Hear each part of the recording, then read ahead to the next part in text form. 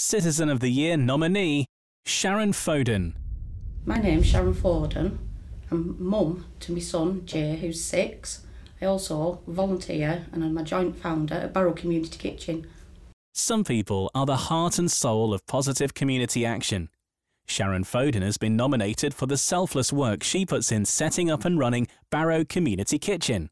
Since realising that there were people isolated and starving in the local community, Sharon has not rested in her efforts to ensure that there is an environment every single week for people to go and have nutritious three course meals, warm friendship, and a non judgmental welcome. We get people that work all week and they just haven't got enough money to feed themselves. We get plenty of people that are socially isolated through all, all different reasons.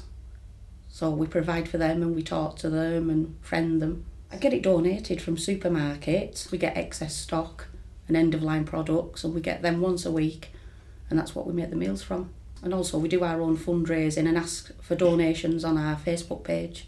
Oh, I've got a team of volunteers, excellent volunteers. I've got two people that pick people up, clients up, and drop them back off. So act like a taxi service. Um, we've got cooks, we've got people that talk to people who feel isolated and help them come out of themselves well, it's important that we all get together and stand together and unite each other because I just care about people. I care about people in our community.